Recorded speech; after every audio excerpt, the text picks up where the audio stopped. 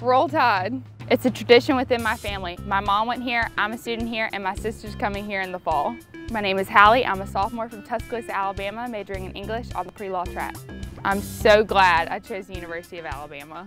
The University of Alabama is known for its athletics. I think it should be known for its academics.